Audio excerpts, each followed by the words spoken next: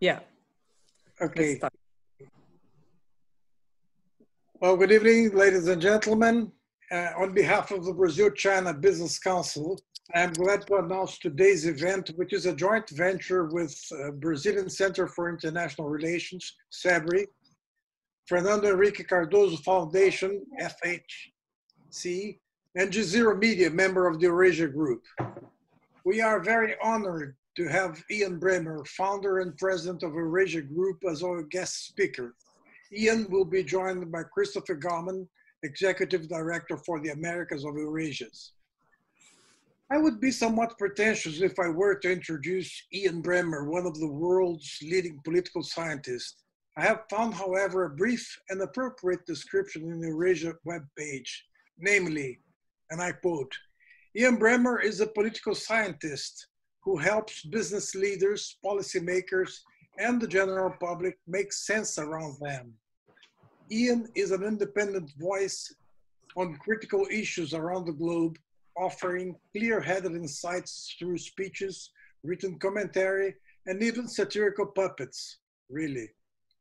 I remember when I once visited him in New York, I saw what I first thought was a character of the Muppet Show series. On a closer examination, I found it was actually Ian, who later told me that he, it was given to him by the author of the Muppet Show. Well, our subject today is COVID 19, the geopolitical recession and Brazil perspectives. We are witnessing an accelerated transition to a new and still undefined international order. Landmarks of these transitions are well known. The end of the Cold War, of the Berlin Wall, the dissolution of the Soviet Union, and the reunification of Germany. Then we have the 90s, the decade of the end of history, marked by the perception of an undeniable leadership of the United States, which paved the way for further improving the international multilateral system of its own inspiration, with the creation of WTO, the NPT expansion becoming more comprehensive. Then we had 9 11, which made explicit the vulnerabilities and limits of the superpower might. And the clear perception of China's rise and its consequence on the center of gravity of power. The US now is now attempting to dismantle the multilateral system it created. Then we have the themes on the order of the day globalism, globalization, coronavirus, instability. Well, where are we going to? is the coronavirus a game changer or simply a catalyst of changes which are already taking place? Well, those are the questions we hope to deal with with Ian and Chris. Ian, you have the floor, and thank you very much in advance. Uh, thank you, my friend. Uh, when I got the note from you, uh, I was delighted uh, to put this together. Uh, there's a long history of robust cooperation between our various organizations, and I have a lot of like and and respect both for you and for all of your colleagues on. So welcome to everyone. I'm not surprised we have so many folks live streaming right now. Also, you'll notice my friend and partner in crime, Chris Garman, who is uh, he's beaming in from an undisclosed location. Uh, we never we never let him know, people know where he is exactly. That's why there's just a white background. We don't want any identifying, um, you know, sort of uh, uh, pieces that that uh, that that would allow you uh, to get a beat on the guy. We always have to be separate. That's you know it's a challenging global order. Uh, no, but more more serious, actually less seriously, just for a second before we come more serious. Less seriously is how much I have to appreciate Brazil. Um, because of course you know i'm in the united states uh, we've had our problems of late we like to tell everyone that we're the leader of the world american exceptionalism we have the best values, the best political system, the best free market. Everyone should do what we say. We should make the world safe for democracy. We got the best military. And the last few years in particular have been difficult for that, right? I mean, the US not not living up to its own values. And of course, there's always hypocrisy. I mean, you go back to things like Vietnam, you go back to American neocolonialism and our experience in Central America and in Chile and other places, and you can make those points. But more recently, with the wars in Iraq and Afghanistan, uh, with the 2008 financial crisis, um, with the election of Donald Trump. I mean, there have just been a lot of things that have made it harder for flag waving Americans to say that everyone else should aspire to be like us. And, and in that regard, the fact that you in Brazil have a political leadership which is even more robustly incompetent than that that we have in the United States right now that you have surpassed the United States in uh, daily deaths and coronavirus and daily cases, even though your population is smaller, that you are facing a profound political scandal and crisis on the back of the impeachment and Lava Jato scandal, and we thought you got it behind you, and now it's coming again. I mean, when I look around the world and I get a little down that the United States isn't who we were when we beat the Soviets in the Cold War because our ideas were better. And I love Brazil, and you know we have offices there, and I love the Brazilian people, and it's a fantastic place to be. But your political system is god awful, and um, and and and I again I feel like we can now be partners in a deeper way as we experience this profound dysfunction together. We shouldn't, I mean, everyone says America first means America alone, but why can't America first be America and Brazil together alone? I think that this is something that we should we should really try to uh, to work together to create some fraternity among the politically disaffected in our two great democracies. So um, that was a little bit of tongue in cheek, but of course, like any good satire, an awful lot of truth, I think, found in it. Um, now, maybe before I turn it over to Chris, a little bit of seriousness about where I see the world going. Uh, to start, if we want to assess how the Americans are doing right now, it is really important not just to look at President Trump and his tweets, because they will distract you. They will make you feel like the United States is heading to civil war or authoritarianism that it's all over, that no one listens to America anymore. I mean, just today, Trump says he's going to have a G11 instead of a G7, and he's inviting the South Koreans, the Indians, the Australians, and the Russians to come and meet. And of course, Trudeau and Merkel and Boris Johnson quickly say, actually, no, we're not going to do that. We don't want the Russians to come. And it's kind of like when Trump says over the weekend that he's going to label He's going to designate Antifa a terrorist organization. He has no power to actually do that. But for a day, everyone goes, oh my God, he's going to do this. And then he says, I'm going to leave the World Health Organization, which is embarrassing in the middle of a pandemic. But actually, you can't leave unless you pay the arrears that we owe, which we're not about to do. And if he actually starts the process, it's a year before he can leave, which means we have the elections first. So like so many things, like the wall we were going to build that Trump was going to pay for. Secret, we already have a wall. I think we've added a few miles. There are some fencing elements. The Mexicans are not paying for it. There's a lot of rhetoric. There's a lot of incompetence.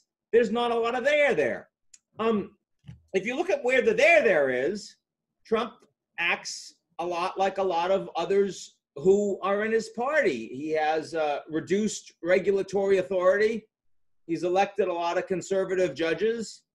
He's uh, put in place, appointed, he's put in place a Fed chair who's very much in line with previous Fed chairs. Um, he's not draining the swamp. He has a cabinet that is enormously oriented towards the private sector and wealthy special interests. He's reduced taxes on the wealthy um, and on big business. So, uh, you know, if I look at the response to coronavirus, I can spend all of my time talking about how personally unfit Trump is and how I wouldn't want my kids to be raised by someone like him, but that's not useful. Or I can talk about how the United States is actually doing. And how the United States is actually doing is we were very late to address the reality of coronavirus after we found out that it was coming. The Chinese lied about it, they covered it up for a month. Then the rest of the world and the Chinese people found out about it. We responded late. We did put travel restrictions on non permanent residents and citizens coming from China quickly. So did the Australians, so did the Italians. the South Koreans and Japanese did not. That hurt them. That was a smart move by Trump. But he was a cheerleader. No worries, no problems, we'll take care of it. And as a consequence, he didn't move to address ensuring that we had resilience to pandemics. And that meant that we didn't have the case, we didn't have the test cases. We weren't able to get tests that worked. The Germans were way in front of us, the South Koreans were way in front of us, and we weren't able to quarantine as quickly as we might have. And that led to a bigger expansion of outbreaks than we should have had. Now, by the way, that's not just Trump's problem. That was also the problem of a lot of governors locally. Washington State did a really good job when they had their first initial outbreak in an old folks' home. But in New York, we did not. And as a consequence, 50% of the people dead in New York State and New York City are in old age homes. And you can't blame Trump for that. So I would say that on the healthcare response and on the general pandemic response of testing and quarantine and contact tracing, I'd give the United States negative grades. Not failing grades, but negative grades. Not North and Italy grades, not Brazil grades, but failing grades. Say C minus D. On the economic side, I'd give the United States high grades. Everyone I talk to in the US that knows something about economics, every Democrat, Jack Lew, Larry Summers, Jason Furman, I've spoken to all of them in the last couple of weeks. They've each told me separately what an amazing job Jay Powell has done as Fed chair. Trump appointee, fantastic, world class, and the US markets have done well as a consequence of that. We've also been fast and big and bipartisan on the economic side from Mnuchin, our Secretary of Treasury, as well as Nancy Pelosi, the Speaker of the House. They don't like each other, but they got it done. Over 10% of GDP, the whole economy. And we expect that there will be yet another tranche to probably extend unemployment benefits to help with bailouts of companies under bankruptcy threat, both large, medium, and small, in the coming months. Will it be enough as we get close to November? I think no. So, right now, I would give the US strong marks on domestic economic response, better than almost any other major advanced industrial economy, uh, but I t- tending in a weaker direction. Look at how the Americans have been affected so far, both economic effects and healthcare effects. And you'd say about what you see in Europe. The US economy is performing a little better than Europe. This year will perform a little better than Europe. Um, per capita deaths right now a little better than Europe. Probably will end up a little worse because we're about 10 days behind in terms of where the peak was and is um, in various American states from when the coronavirus hit Europe. And you shouldn't compare the US to Germany or just Italy. You should compare the US to the EU and the UK then you get roughly commensurate economic size, roughly commensurate population size. There you'd say the Americans a little better economically, a little worse on the uh, on the mortality and and caseload. On the society side is where the United States is of course failing. That's where you see this massive inequality, much bigger in the US than in Europe, and also massive racial inequality in the United States. And that is playing out very badly indeed. In my city, in New York City, and I'm hearing it right now. Massive protests just a few blocks outside of where I sit right now. Over the last three months, all I've been hearing are ambulances every day, every night. Now I'm not hearing as many ambulances because there aren't as many people dying. Instead, I'm hearing police sirens all day, all night. I'm hearing helicopters all day, all night. I won't hear helicopters tonight because there's a damn curfew in New York City starting at 11 p.m. It's a city that never sleeps, and we're going to be sleeping tonight. And that's happening in LA, it's happening in Chicago, it's happening in Minneapolis, it's happening in Florida, it's happening in Detroit, it's happening in New Orleans, it's happening in Philadelphia and Boston. In almost every major urban center today, there is a race divide that is so painful, it is so deep. So many more black Americans are dying of coronavirus than whites. So many more blacks have existing conditions and no access to proper health care. So many more blacks have been incarcerated. So many more blacks have been abused by police. So many more blacks do not have the opportunity to get proper education. So many more blacks feel disenfranchised that the system is fundamentally rigged against them. And so when they see what happened to George Floyd in Minneapolis on Memorial Day just one week ago, and nothing happens to these officers. They do not get charged for murder. They do not get charged for crimes until after days of demonstrations and violent protests.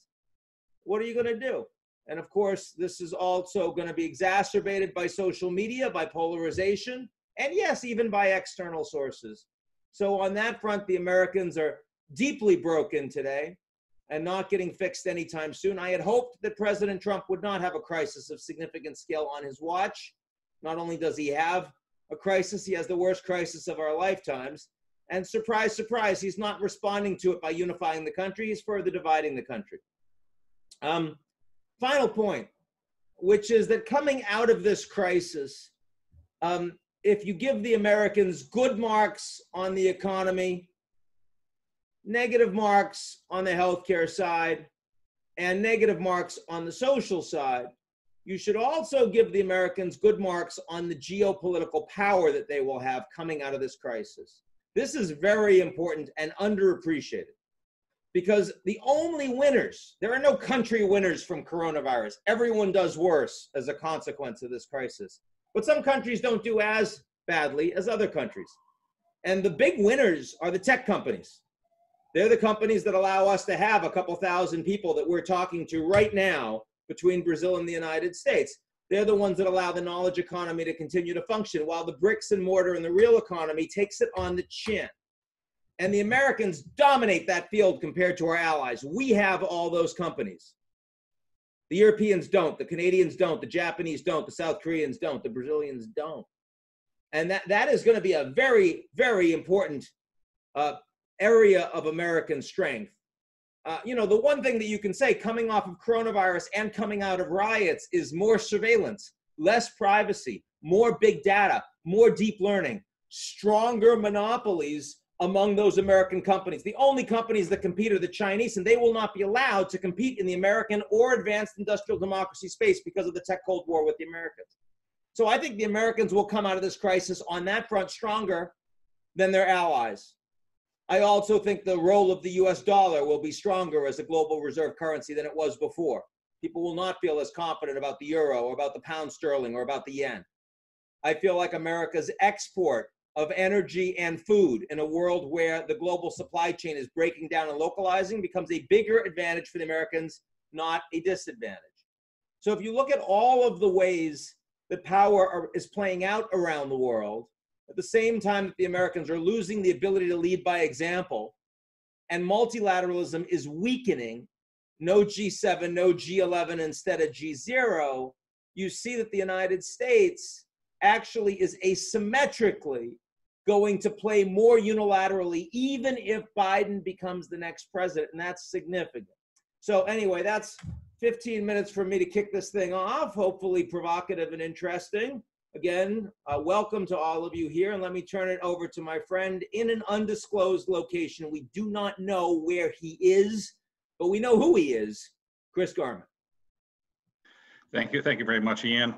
And I will keep my location undisclosed uh, for the for the for the purposes of my own security.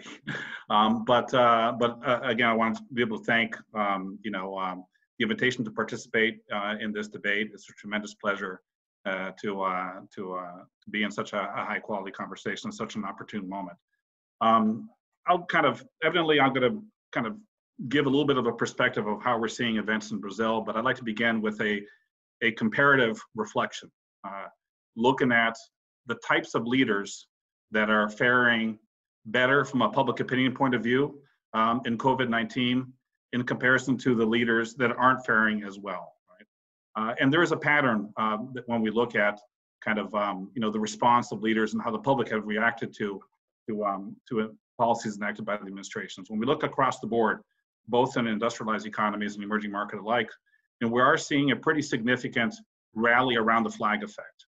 You look at a, a number of different leaders are seeing their approval ratings, you know, rise out of COVID-19, anywhere from 5, 10, 20 percentage points. Um, and usually these are the leaders that have enacted uh, stronger measures uh, to tackle a public health crisis in a context where the public is very scared uh, of their own safety um, with this global pandemic. Uh, we have another crop of leaders, however, who haven't fared as well, haven't really benefited uh, from, uh, from a, a, rally around the flag effect. We certainly can put Jair Bolsonaro in that camp, who has his approval ratings drop a bit. I think we put, uh, you know, Manuel Lopez Obrador within that that that category.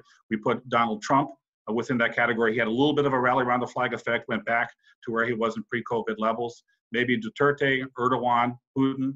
What's interesting is, is that leaders who had very strong anti-system, anti-establishment credentials uh, coming into COVID-19 are performing more poorly in comparison to leaders who have uh, at least the traditional establishment credentials. Right? We have to remember that we came into this environment with deep levels of distrust towards public institutions, institutions like the media, the judiciary, political parties. Look at public opinion polls, the level of disenchantment with the systems, uh, uh, you know, broadly speaking, was very, very high uh, in continental Europe, United States, and much of Latin America. We had a crop of leaders who were elected uh, with very strong anti-system, anti-establishment credentials.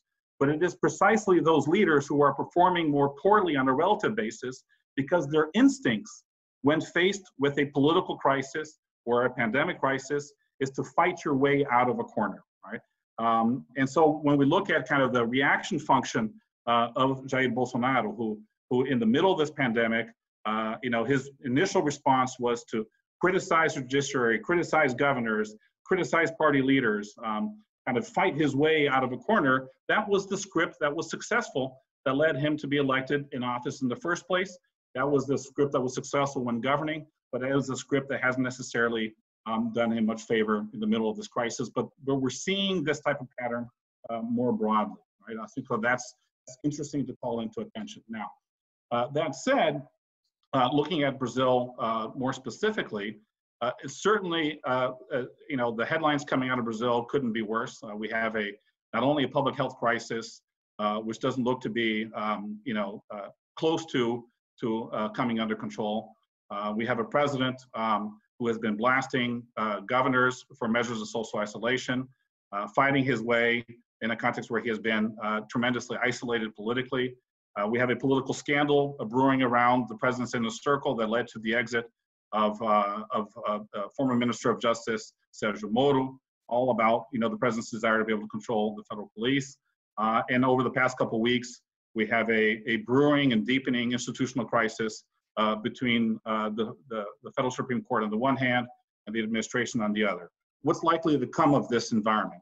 Uh, two broad comments that I'd like to make to, for us to be able to have time to, to, uh, to discuss uh, in Q&A. The first is, I think we're headed towards an, an environment in Brazil of a deep polarization um, of, of kind of political forces. Uh, but probably not an environment in which the president loses his mandate, and probably not an environment in where we're going to have uh, an institutional rupture uh, and kind of a breakdown of the democratic order.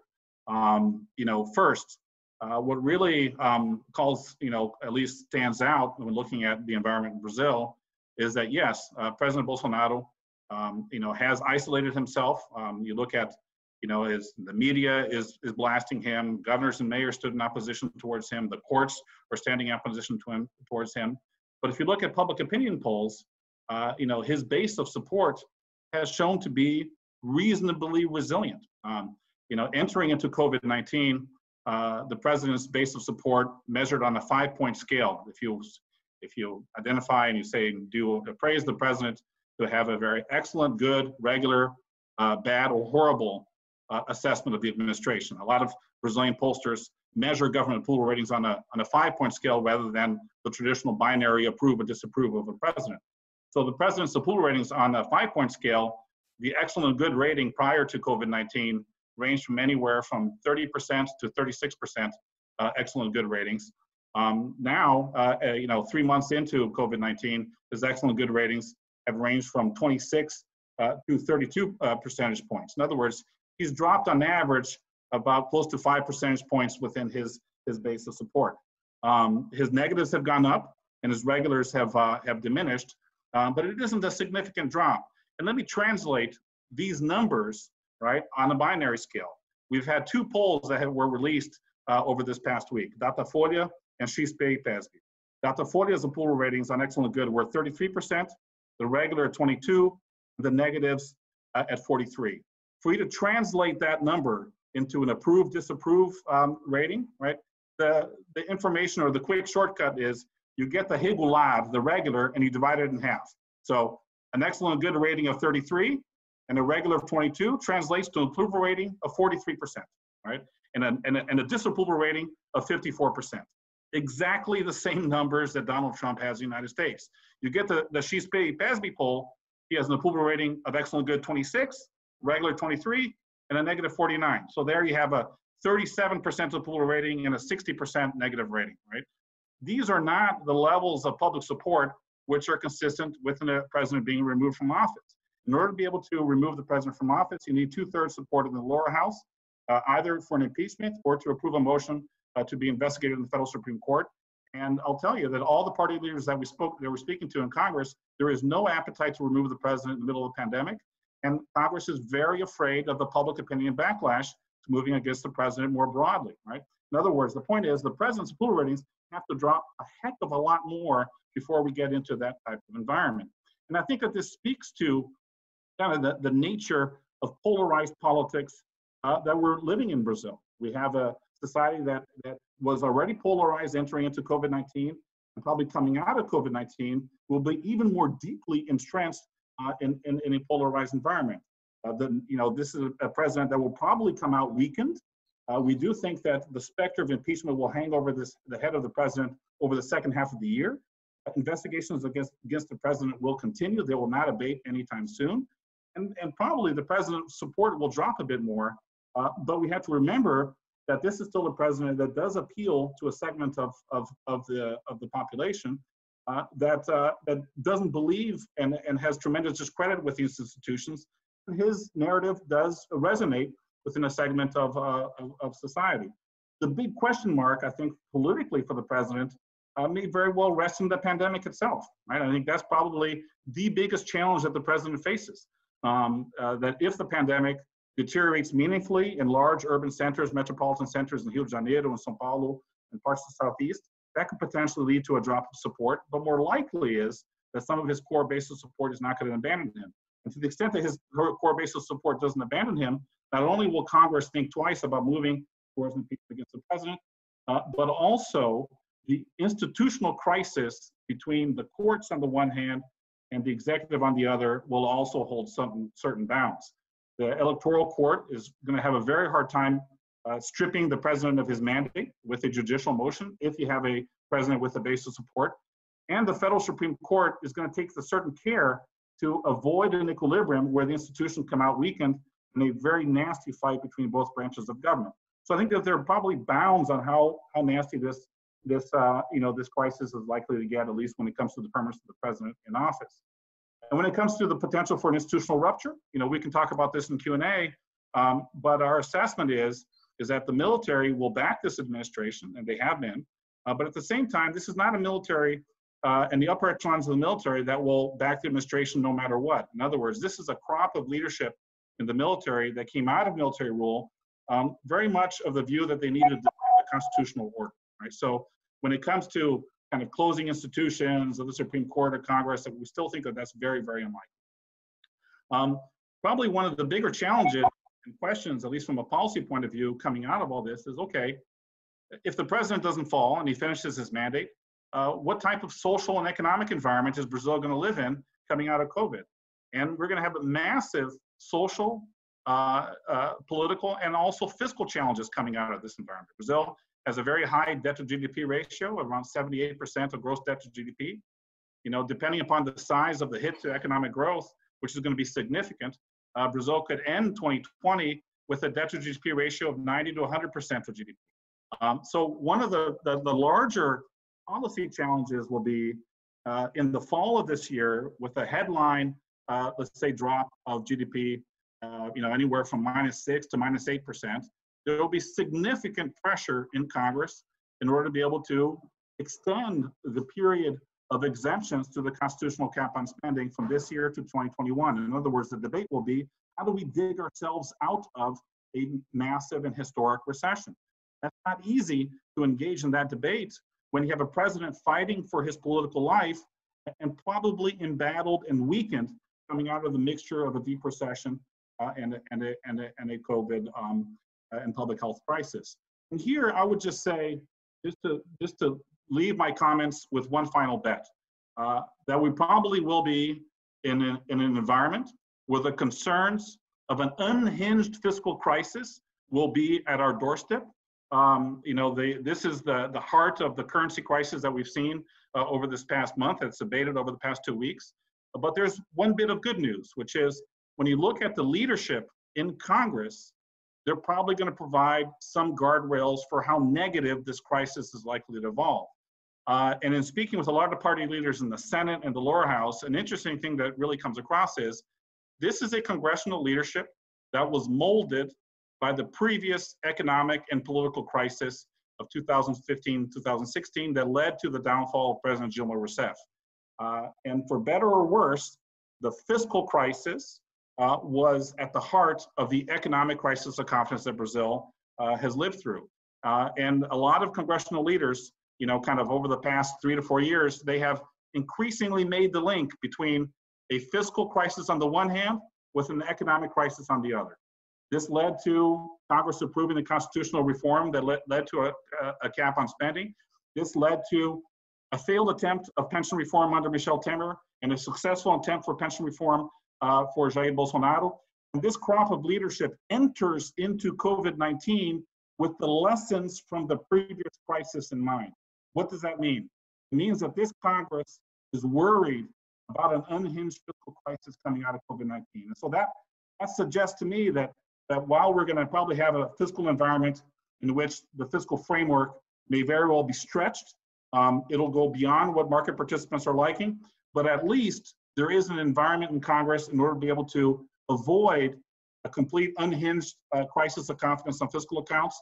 And it's not a coincidence that uh, that that we're probably going to get some kind of grand bargain where more spending on a temporary basis out of out of COVID-19 for this year and for next year may very well come with some countervailing measures on fiscal reform to be able to control future obligatory spending uh, going forward, right?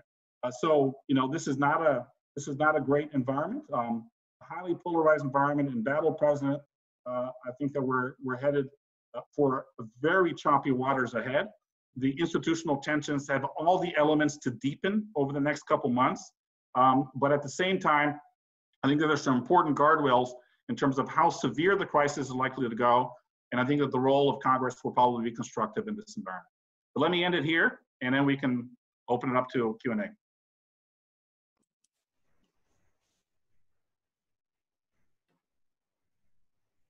Ambassador. Uh, I was I have been muted. Uh, thank you very much, Chris. Uh, thank you, Ian, for the excellent presentation. It clears very well what we are seeing. Of course, there are lots of questions now, but before proceeding to the question and answers, I think Sergio Fausto would like to make the first question. Sergio, right, actually, well, first, first of all, always good to listen to Chris and uh, and Ian. It's a pleasure to be here. Thank you so much for for the invitation and the opportunity to to co-organize uh, these this event.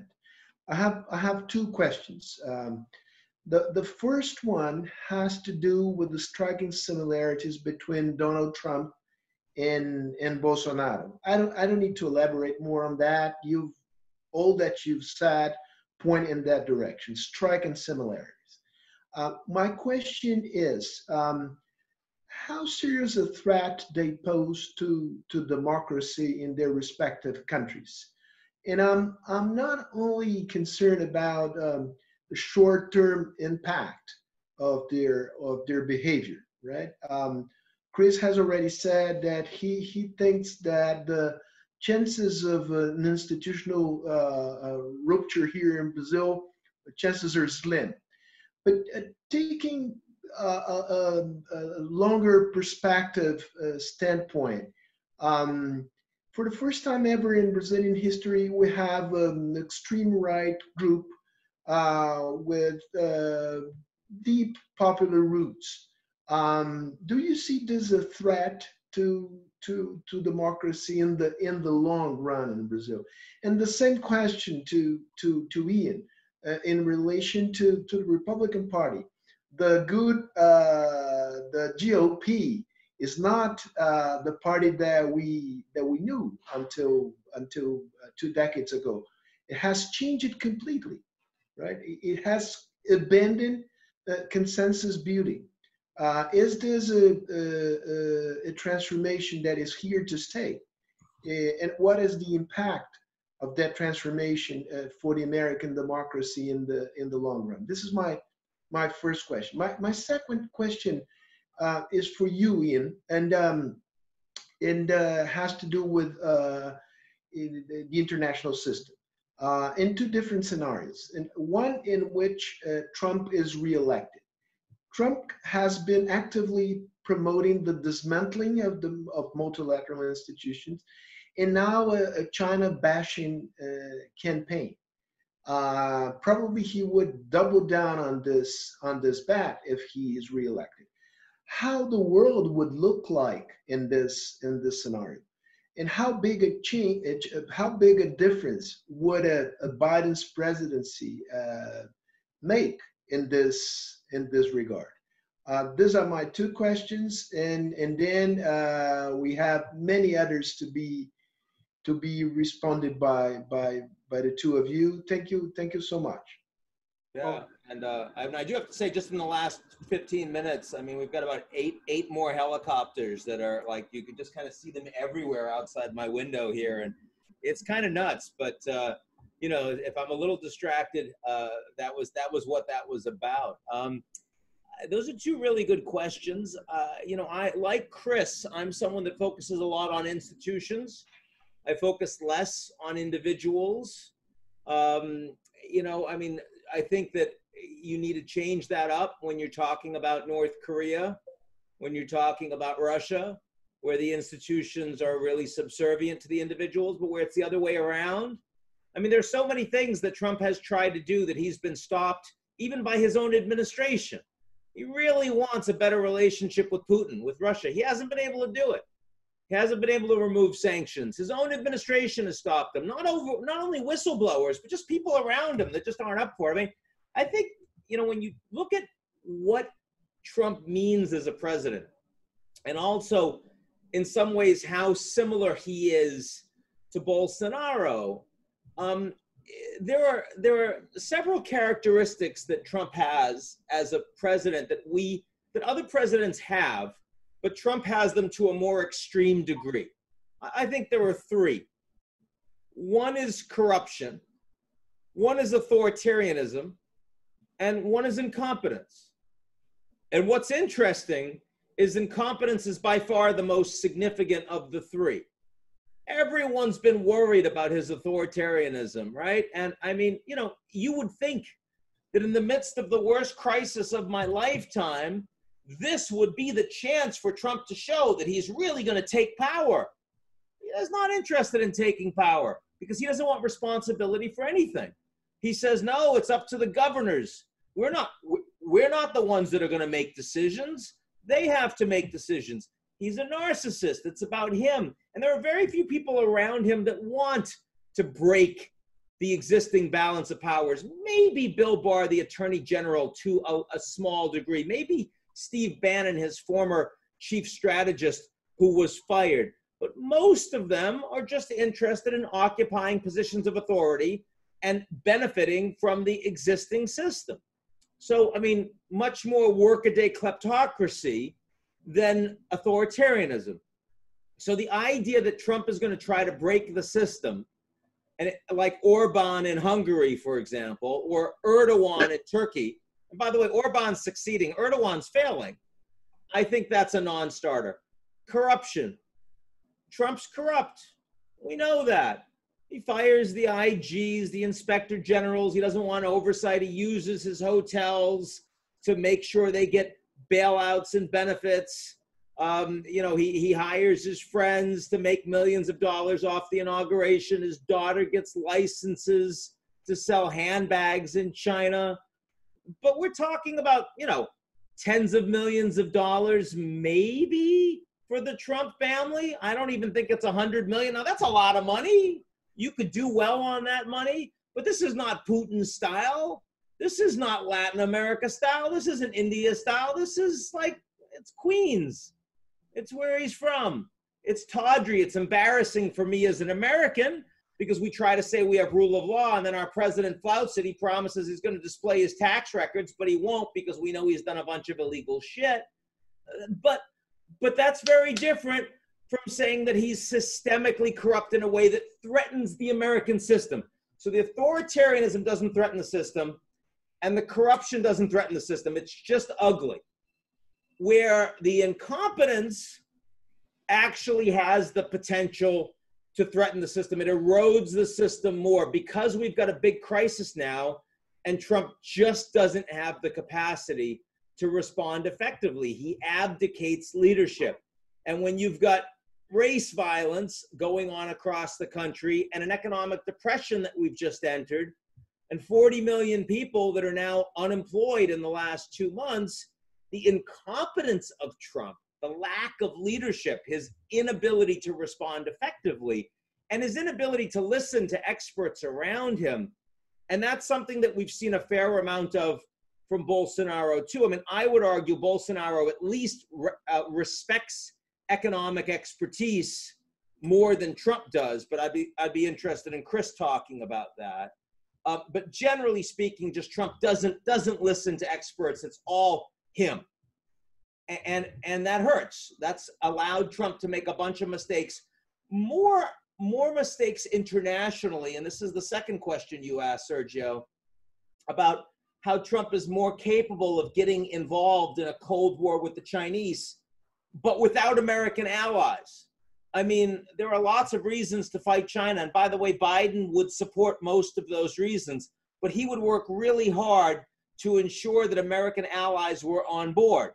He supports the Trans Pacific Partnership, even though Obama couldn't get it done. He wants to get back in the Paris Peace Accord. He wants to get back in the Intermediate Nuclear Forces Agreement. I mean, all of those pieces of international architecture, the World Health Organization, that would help to align the United States with its allies. And if you're about to get into a big fight with China, the second largest economy in the world, and the only country out there with tech firms that can challenge those of the Americans, it would be better if we were fighting with our allies on our side. And Trump is counting on the fact that America is more powerful to force those allies to do what we want. And in the case of Mexico and Canada, you can get them on board on pretty much anything because they have no choice. And in the case of the UK on 5G, you can get Boris on board. But in the case of the Germans and the French and the Philippines and South Korea, it's getting tougher. So I do think that the G-Zero is becoming deeper and more fractious, and America losing influence internationally to the Chinese, who have lots of mistakes that they've made and lots of reasons countries wouldn't want to follow them. Nonetheless, Trump has given them more of an opportunity. And the final thing I will say, because you asked about the difference between Biden and Trump, and obviously there are many differences, but one that's interesting is that senior Chinese leaders, when I talk to them, tell me that they would prefer Trump to win a second term than Biden. Senior Chinese leaders. And you may think that's surprising, but it's because the Chinese leadership understands that they're going to have a tougher relationship with the US no matter what. If it's Biden, the US will be more focused on the Uyghurs and Hong Kong and human rights. If it's Trump, they'll be more, more focused on East China Sea and Taiwan and the military balance. But either way, there are going to be a lot more challenges between the US and China. But what the Chinese see is that if Trump stays president for another four years, American alliances will be more damaged. He will pull out of more international institutions. He will provide more space and more of a geopolitical opening for the Chinese to play. Where if it's Biden, there's much more likely to be a stronger multilateral alignment against China, which they really don't want. And so that's that's interesting. I, I would say they weren't sure they felt that way six months ago before coronavirus began, but now that it has, they feel pretty strongly about that. Chris. Yeah, no, thanks, Ian. I mean, I think that in answering kind of the same question for Brazil, you know, in terms of how much does the Bolsonaro administration represent a threat, threat to democracy, you have to take that question more seriously in the Brazilian context. This is a younger democracy. Uh, institutions are, are not as robust. Uh, this is a government with a very strong military presence. Bolsonaro comes from the military. Uh, he has a, a, very senior crop of advisors uh, around him uh, in the presidential palace. You have, you know, you don't have a civilian minister in the presidential palace anymore. Um, and so when you have uh, ministers who have a military background and are generals who are defending this administration, evidently the sensibilities of Brazil's recent political history uh, come come to bear. Uh, but I would, you know, I would argue that when we look at, you know, the most important unintended consequences uh, of the institutional landscape coming out of a Bolsonaro administration, I'd probably argue that even though these institutions are under stress, the largest institutional legacy of a Bolsonaro government may very well be a weakening of the executive office in comparison to uh, Congress on the one hand or courts on the other. Because let's look at the political dynamics of this administration. This is a president that got elected campaigning against the establishment, campaigning against judiciary, campaigning against political uh, leaders and party leaders in Congress. He did not generate a congressional coalition uh, in, in Congress to be able to support his administration. He's trying to build one now because he's fighting for his political life. But the response of the other institutions have been to clip the wings of executive prerogatives. Congress approves a constitutional amendment to be able to reduce the, the discretion of the executive office in executing the budget. The Supreme Court has taken a number of decisions to limit uh, executive prerogatives, you know, be it in terms of, you know, uh, you know, the, the, constitutional role and be able to manage the COVID and, and, and, and the lockdown on the one hand, uh, be it in terms of the ability of the president to be able to nominate ministers and, and substitute the head of the federal police, for example, right? Um, the president is reacting to these overtures very strongly, very belligerently, uh, in a rhetoric um, uh, which certainly is disconcerting, right? Uh, but, but, but the interesting institutional, longer lasting repercussion of all this is an executive office that's weaker, right? In the long run, that may not be a bad thing for Brazilian democracy. Evidently, in the short run, we're going to go through periods of acute tensions uh, and stress between these institutions. And hopefully, we don't have an accident along the way in which the institutional legitimacy of these institutions is, is at play. I think that in the very near term, the larger risk from a legitimacy of institutions is the Supreme Court taking a decision and the president not respecting it.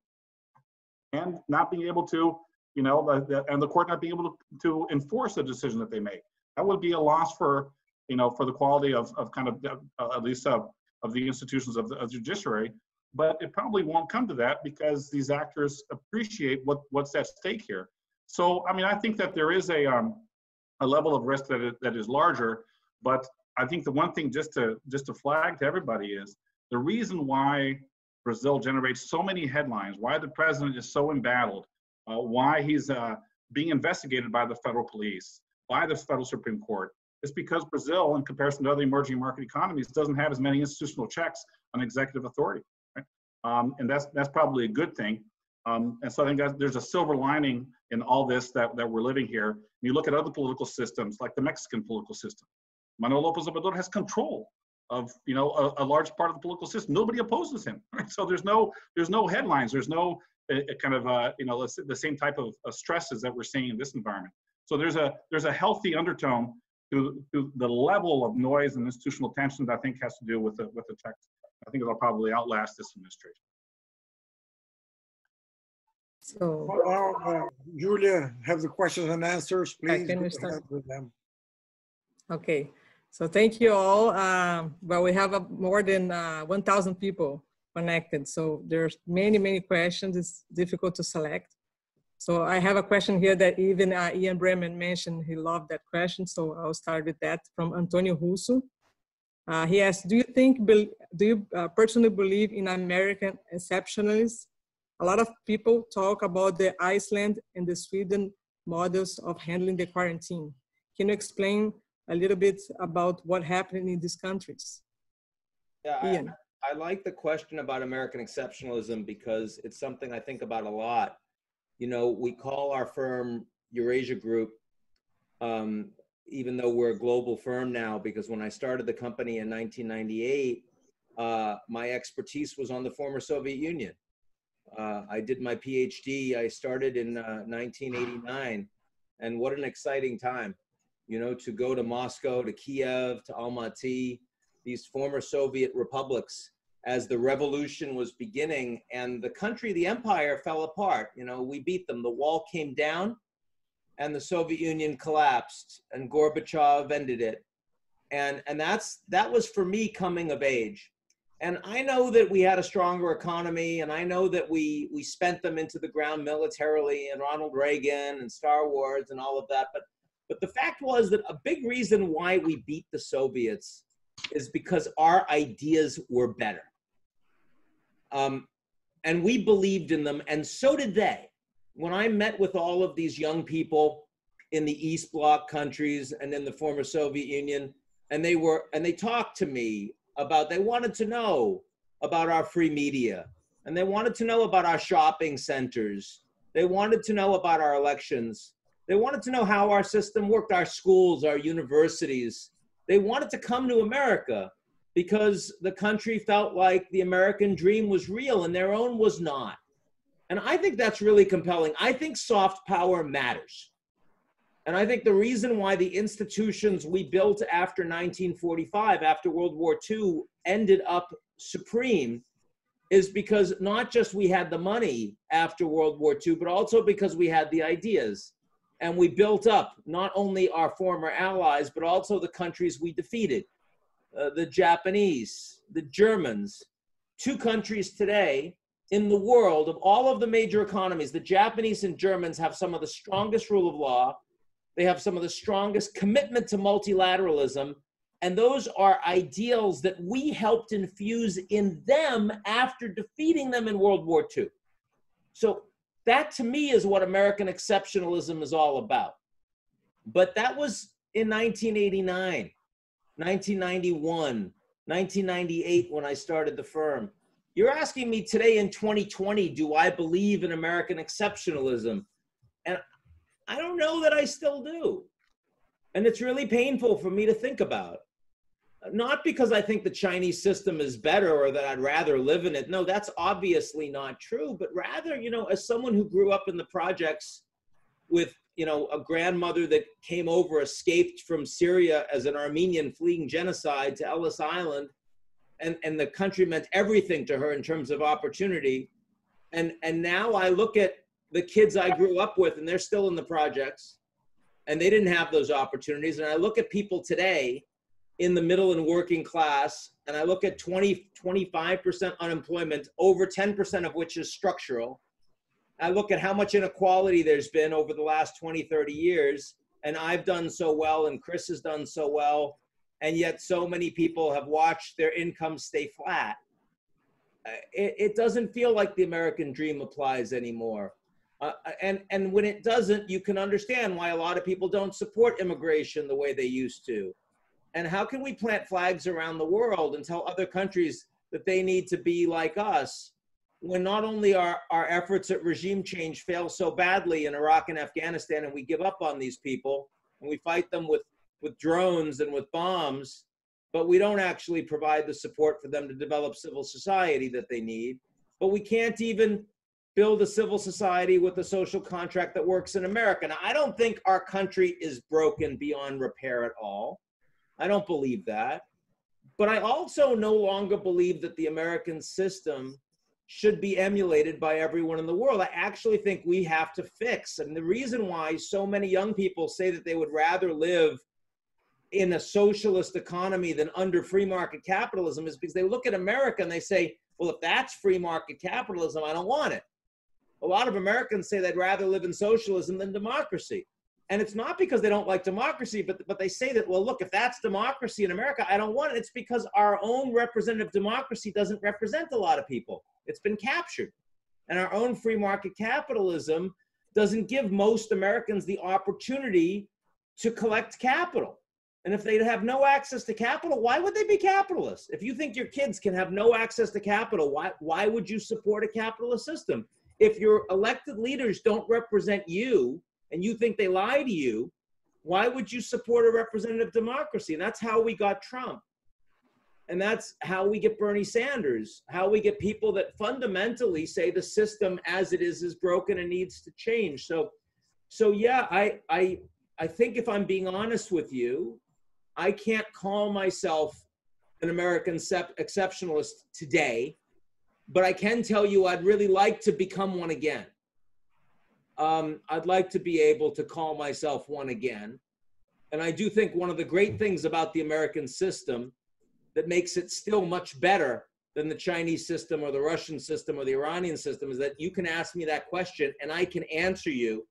And I can answer you publicly, and I can answer you on television, and I can answer you in a newspaper or on social media, and no one can do a goddamn thing to me. And that's not true in authoritarian countries around the world. And actually, that's not true in Hungary today, even though it was five, ten years ago. I think that's important. It's something that we should really cherish. Okay, uh, I'll, I'll ask now two questions together because they are connected.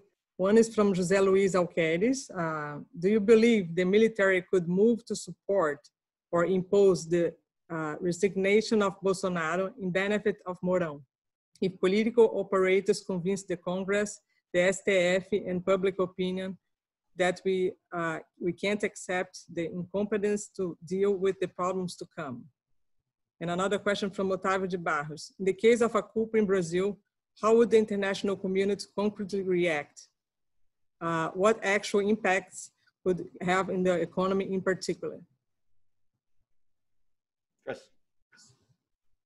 Yeah, I'll, um, I mean, when it comes to the first question, um, you know, what's the likelihood of the military uh, leadership forcing uh, um, the hand of the president to resign from office so that the vice president can assume.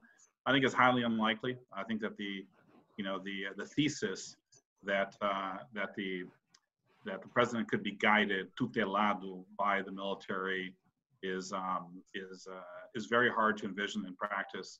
Uh, you don't really control a president, uh, you know, much less a president like uh, Jair Bolsonaro, right? So I, I don't think that the president would accept some kind of inter intervention on, on, on, that behalf.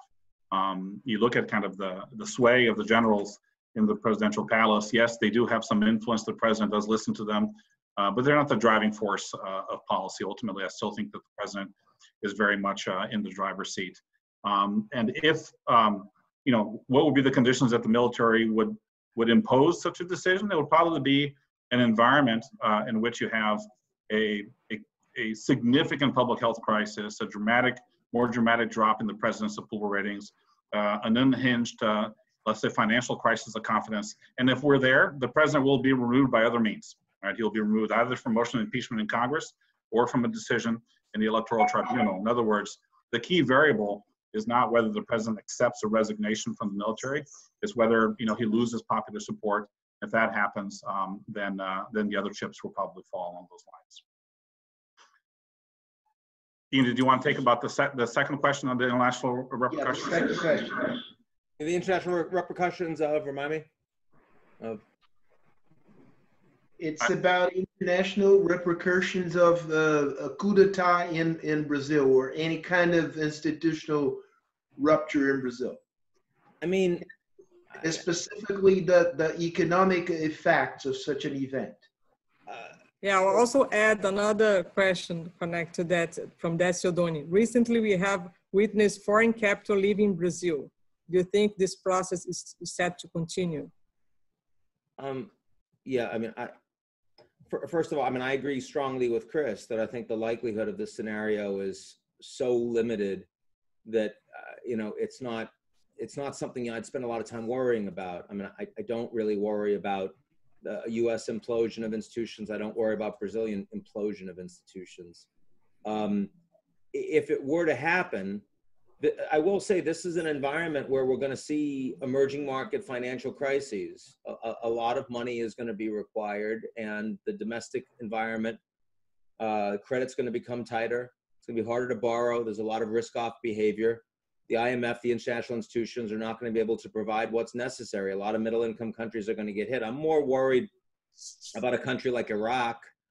You know, I mean, given the energy production and where prices are, um, and and the lack of resilience than I am about a country like Brazil. But still, uh, you know, there, there's going to be a lot of pressure. Um, if if you were to have, in the worst case scenario, a true institutional implosion, um, I, I think that there would be a less international market response to that than there would have been five years ago, 10 years ago. I think the United States in this environment would um, look to try to be transactional in their response. I think the Chinese obviously could care less. They just want to continue to do business as usual. Um, I think the Europeans would be split. I mean, you'd have a lot of hand wringing. You'd have the Germans, for example, uh, worried about human rights. But would you really have the Europeans changing the rule set as a consequence? I don't think so.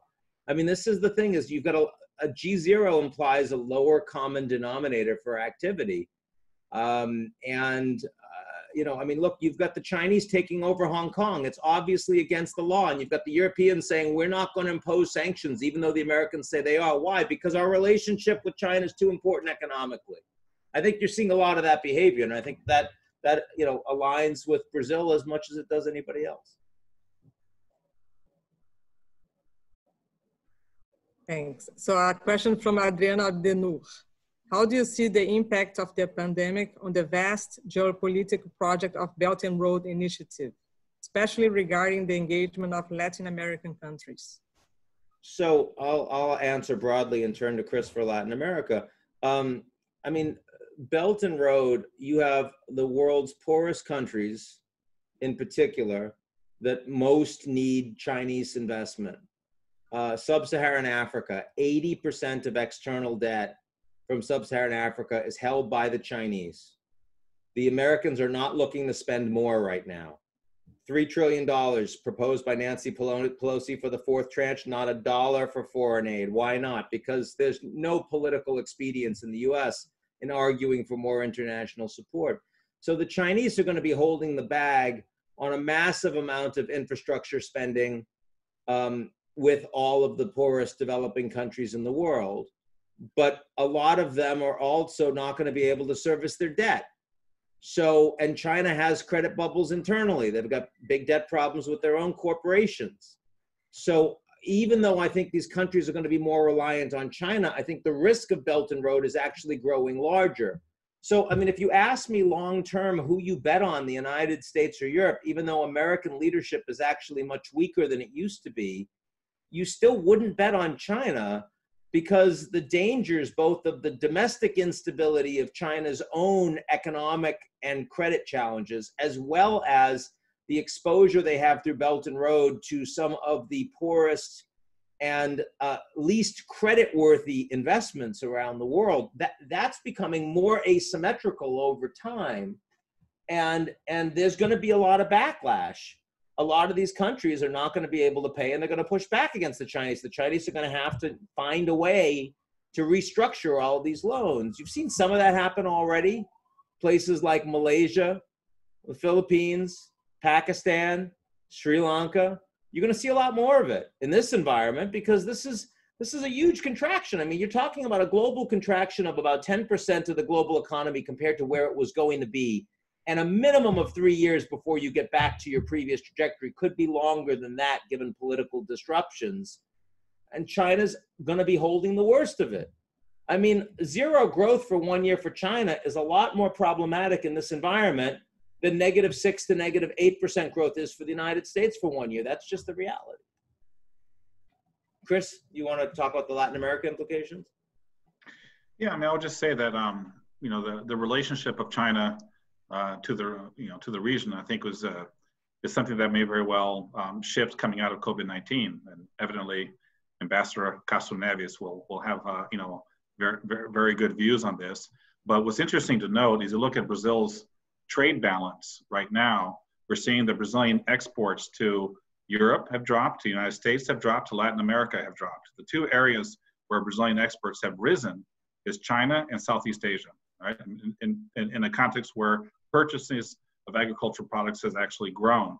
So you look at kind of you know, China's relative import in Brazil's economy, it may very well you know, be larger coming out of COVID-19 than it was uh, prior uh, to this crisis. And we're going to be in an environment in Latin America and in Brazil where government's going to be desperate for investments and desperate for resources. Um, you know, uh, the interesting kind of conundrum is this, this is occurring in the Brazilian context where some of the ideological views of the administration, which have strong anti-China undertones, are starting to come out now in a way that they haven't come out in the first year of the Bolsonaro administration.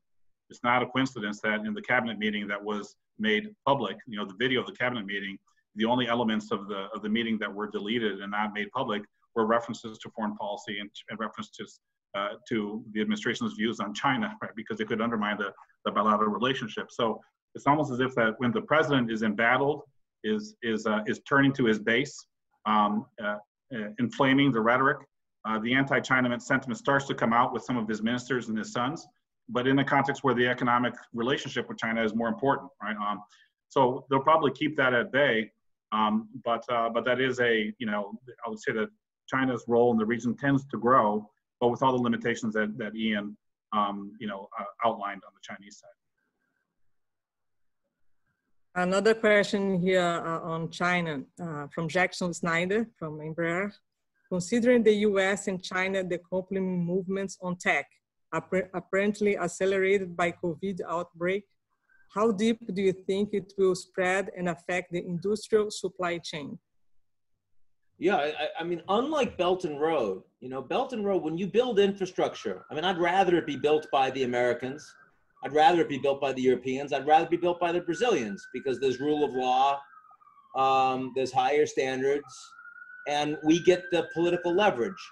But I still would rather the Chinese build infrastructure through Belt and Road than nobody build it because you're actually facilitating development. You're creating wealth. You're creating jobs. Everyone can use a port. I mean, these countries need ports. They need railways. I want them to get built, right? That's a good thing. But when you talk about technology, you know, we're increasingly an environment where we don't want the Chinese to build digital technology because that'll keep those people in those countries in a zero sum environment off of Western technology. If, if there are going to be two competing data systems, two competing clouds, two competing filters of information and consumer choices that people on the Internet of Things will engage with, then the more the Chinese export their, their 5G model and their technology model, the more you will lose those people from interaction with the rest of us, with the West. And, and that's a that's a technology cold war. So I I do think that the supply chain around not only the Internet of Things, which is much broader than just your cell phone, it's anything with a chip in it. So it's it's smart houses, it's smart cities, it's driverless cars, you know it's it's but it's also the consumer choices the data your bio health biometrics all of these things will suddenly become split into two with one system aligned with beijing and their super tech companies and another aligned with the west mostly with american tech companies. That that's obviously a much worse way to run the global economy. It's less efficient. It leads to more tariffs. It leads to um, uh, companies which will not have access to large numbers of consumers and large numbers of inputs. It's the opposite of what a company like Amazon or Walmart is trying to accomplish around the world. And look, there are problems with the American firms too. I mean, they're underregulated, they're, they're incipient monopolies, they're not necessarily good for civil society, um, and they, they buy up uh, smaller companies with their own data and market knowledge, and they make anti-competition more significant. They make the barriers to entry higher, but they're still much better than tech companies that provide their data to the government and help to create a technologically empowered surveillance state, which, to be fair, is one of the reasons why the Chinese were so effective in being able to quarantine and stop the virus in its tracks but everything, every other impact on society is much worse. Ask the Uyghurs, ask Hong Kong.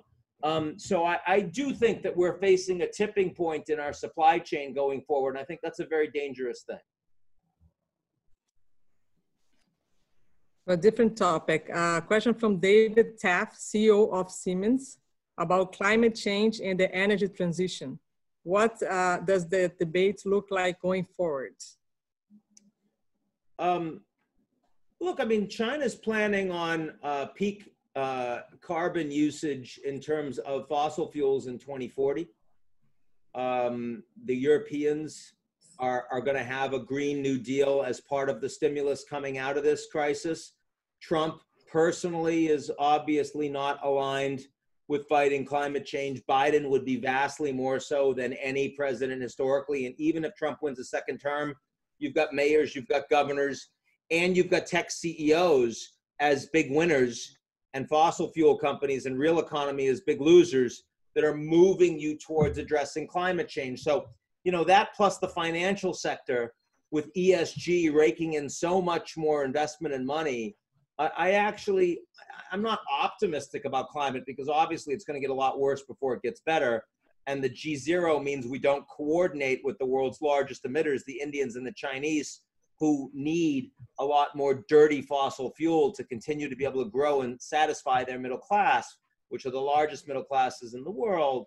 But still, I mean, I would argue that the momentum is overwhelmingly going to be with those that are fighting climate change and and of course this is generational as well even here in my own country uh, and, and i don't think that coronavirus is going to stop that even though you know clearly the money that could be spent on fighting climate change is going to be more constrained in the near future coming out of this depression so ambassador so I, I think i'll ask the last question and then, then pass to ambassador Sergio to uh, make a final comment. Uh, Carlos Braga uh, asked, what kind of global governance will emerge in this context? This con concept now is, a, uh, is there a, still a global governance? Uh, you know, we don't have global governance. Um, we never had strong global governance, but we had a lot more leadership. We now have an environment where the United States has more unilateral influence over many of its allies than it had. And yet the Chinese have the ability to veto and say no. Just in the last 30 minutes, you have the Americans pushing the Chinese on Hong Kong because they're changing the rules, and the Chinese saying, okay, our agriculture firms are going to stop buying American agriculture according to the phase one deal. That's a pretty big deal that that the Chinese have the ability to say no. The Russians don't have the ability to say no, but they have the willingness to cause a lot of problems. The Chinese have the ability to say no. And the Iranians don't, the Mexicans don't, the Canadians don't. If the Americans whack those countries around, they have to deal, but the Chinese do. So that combined with the fact that the Americans are less interested in leading, and the Europeans are themselves more divided and weaker than they used to be, Brexit and all the rest. All of that um, is leading to a world that is not going to have global leadership for a long time. This is, I call it a geopolitical recession. It's cyclical. We've just entered into it. It's going to take a long time, probably 10 or 20 years. And it's a G-Zero world. A G-Zero world is an absence of global leadership, and it's a world that's much more volatile the good news is that a lot of the institutions that we created after World War II that don't work well anymore, it becomes obvious they don't work and we need to reform them or create new ones. I mean, if you had to create NATO today, you wouldn't create NATO. You wouldn't create a transatlantic security alliance focused geographically on the Russians and focused thematically on conventional and nuclear weapons. You wouldn't do that you would create a security alliance focused on Asia, and it would primarily deal with cyber technology and economic and trade issues with some military support as well. It wouldn't look like NATO, but we're stuck because we've got NATO. So the G-Zero on all of these issues is going to force people to think more about how the institutions are broken, how they don't work, how they need to evolve, they need to adapt, they need to be reformed, and in some cases, they need to be broken and started from scratch. And that's the opportunity, that's the challenge. It's going to be a tough time, a crucible, but a crucible that creates rebirth, an opportunity for human beings that won't live in an American world, but they'll live in a world where the Americans are still the most powerful and influential power, and hopefully some of that power can be used for good. Uh, last quick question from Graziele Parenti. Has the American dream failed? It's failing. Uh, it hasn't failed. It's failing. I mean, if it was up to me, I would get Christo, the Italian artist, and I would have him take one of those big orange tarps and just put it around the Statue of Liberty. Don't destroy the Statue of Liberty. Don't take it away. Just, you know, in, because we haven't decided. It's still there, but we don't know if we if, if it stands for us anymore, if we stand for it. Give us your tired, your huddled masses. Allow them here. I think we don't know what we stand for right now. So that that's not to say the American dream is over, but it's to say that right now there's an open question. And and an open question means we need to answer it better for people, for ourselves. And if we can't answer it for ourselves, then we're not going to answer it for any of you very well. Ambassador. Yeah, well, before concluding, I would like to pose a, uh, a, a final question to, to Ian. Uh, as a matter of fact, uh, regarding his last comment, so the Statue of Liberty has become some sort of a sphinx. Decipher or I will eat you. Well, but, but the question is, is the coronavirus a game changer or simply a catalyst of current changes? I think it's an accelerant. Um, it, it's it's you're going to see 10 years of change in 18 months to two years. Structural inequality was already there; it was growing, but it's going to accelerate so much more, deepen so much more because of coronavirus. Racial tensions in the U.S. were already there; they're going to accelerate so much more. U.S.-China competition tensions were already there; they're going to accelerate so much more. Technology displacement was already there; it's going to accelerate so much more sustainability of Europe and questions of the effectiveness of the EU and its integration We're already there. It's going to accelerate so much more. So I don't think it's a game changer. It might be a game changer for people that were ignoring these things for the last 10 years. But for those of us, I, I, certainly including you, Mr. Ambassador, um, that have been paying attention to these issues for the last decade, this isn't new. It's just suddenly we have to deal with it and uh, hopefully that means we'll deal with it effectively. Right. Well, thank you. Well, once again, thank you very much, Ian. Thank you, Chris. Uh, it is. It was an honor and a pleasure and a privilege for us to be able to partake this uh, very good exchange, and uh, I hope that we'll be again together sometime in the near future. Did you see that Christo? Someone just said Christo died yesterday. Is that true? Yes. Yes, Crystal, I heard on the oh paper God, today. So much for that idea. Like, I mean, you not only do you not have global leadership, but you don't even have Christo anymore. We are truly screwed. That's quite something. I didn't know that. All right. Okay. Well, once again, thank you very much indeed. It was a pleasure for on behalf of CEBRI, on behalf of CEBC, and FHC Foundation, and of course, if you allow me, on behalf of G02, because it's a partnership that we, a very successful partnership, and we hope to be able to repeat it in the near future. Absolutely. Thank you, and thank you all. Thank you all for all who have been able to uh, uh, watch this presentation, this debate. Thank you, guys. Thank you very much. Thank you, everyone. Thank you.